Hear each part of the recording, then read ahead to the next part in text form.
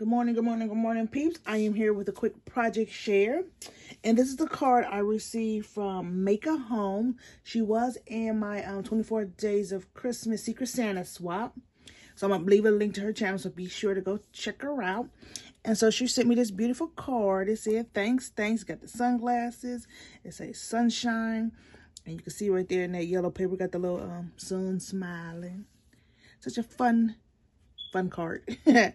um, especially when you, you know, you just mix that pink and yellow together. It ain't colors you usually see. So that's cute. Nice and bright.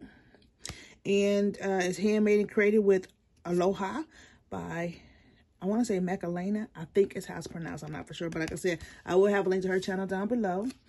So, and it is a reusable card. So I can go ahead and put whatever I want to put in there.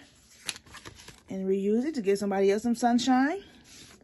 And I am pretty late with this. I am trying to catch up on videos. And so in the um in the letter she wrote me, she was just thanking me for the um chapstick that I had uh sent out for everyone who participated in my um 24 days of Christmas. I will put a link to that in the description box below also.